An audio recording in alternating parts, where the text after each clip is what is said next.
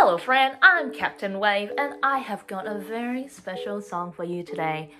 It is a science alphabet song, and you might find you might find the melody a little familiar because it is inspired by one of my all-time favorite songs. Um, Old MacDonald had a farm.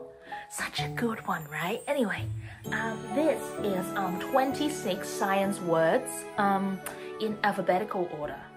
Here we go.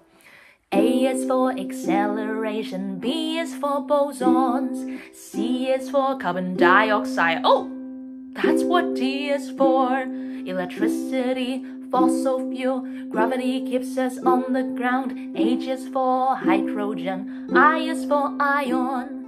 J is for Jupiter, K is for Krypton, L is for lithium, M is for magnets.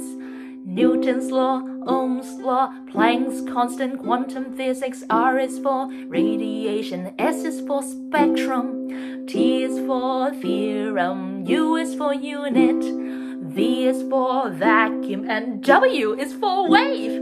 X axis, Y axis, Z axis, that's 26 alphabet in science. I hope you had fun because I did, and I hope you did too. And I learned so much, and I hope you learned something too. That's all the fun we have with Captain Starlight today, and I hope we'll see you again soon. Bye, friends!